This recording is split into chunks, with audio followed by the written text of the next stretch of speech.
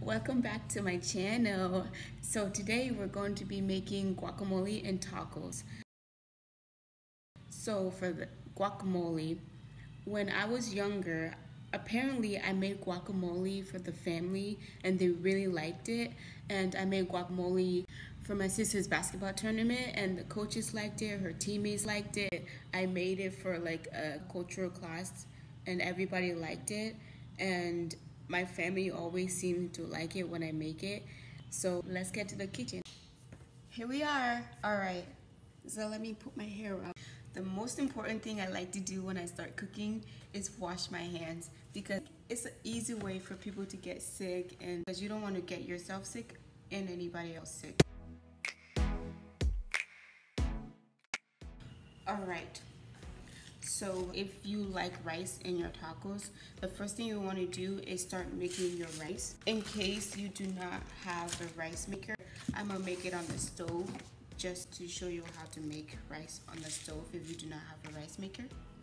So let's get started. The rice that I'm making is jasmine rice. If you have a different type of rice, it's still the same process. Yours will probably need more water or less water depending on how you want it to look like. So you're going to need three cups of rice, put it in a bowl and wash it. And then you're going to put the rice in a pot and add four cups of water to the pot and put it on a stove at medium and cover it and let it cook. Alright, once you're done prepping your rice, you want to get your ground beef Put your ground beef in a pan and just chop it up into smaller pieces so that they are easier to cook. Don't forget about your rice.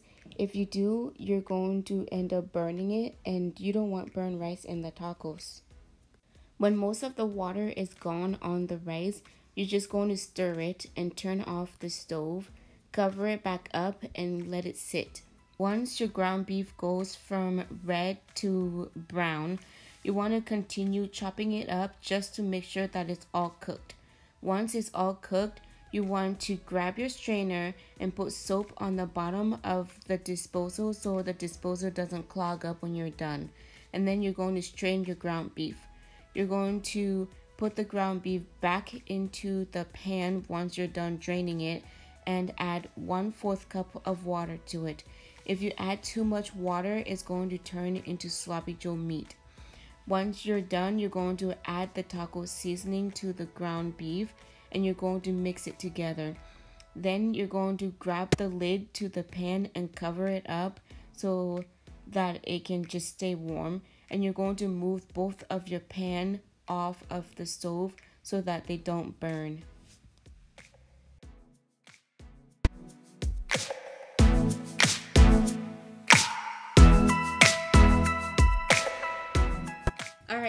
The fun part of the cooking. So, for the guacamole, you are going to need, um, you're going to need two tomatoes, one for the taco and one for the guacamole.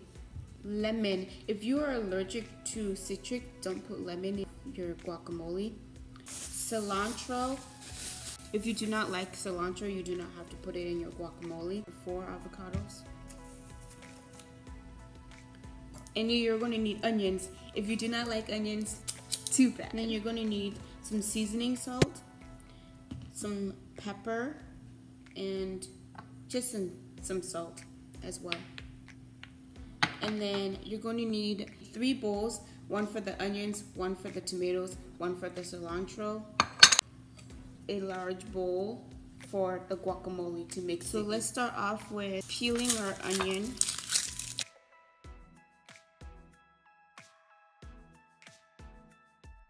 Now we wash everything. And then we start cutting it.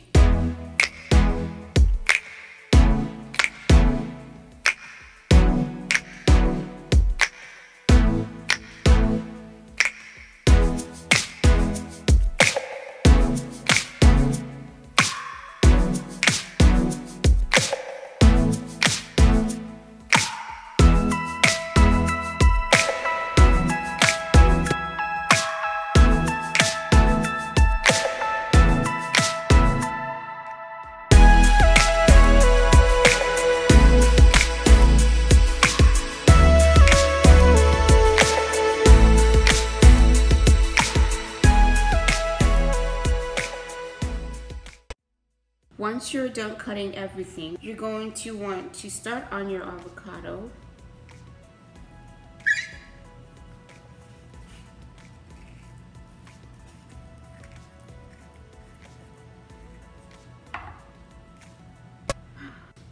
Okay, to get the seed out, hold it and twist.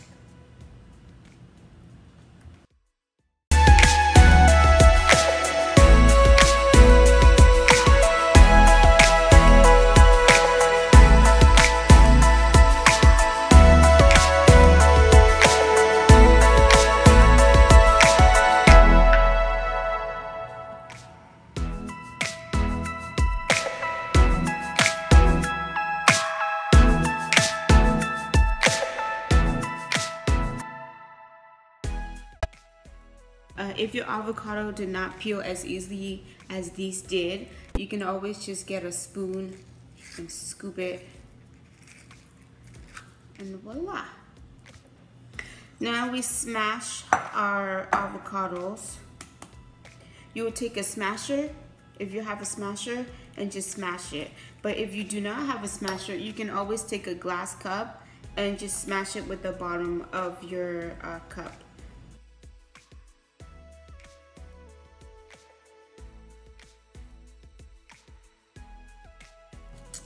So usually when I'm done smashing my avocado, I just go ahead and put everything in and then add my salt and pepper and lemon juice. But to be precise, we're going to just measure it all out so you know how much of what to put in to your um, guacamole.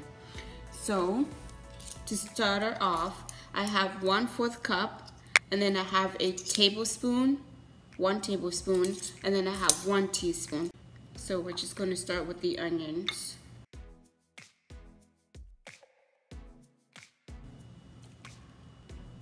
A tablespoon of cilantro. And if you do choose like you need to put more of any of your recipe, feel free to put as much as you need.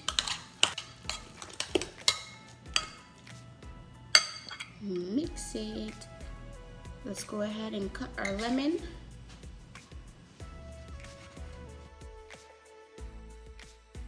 We're going to put one teaspoon of lemon juice one teaspoon of seasoning salt, one fourth teaspoon of salt, and then for the pepper, we're also going to put one fourth teaspoon of pepper.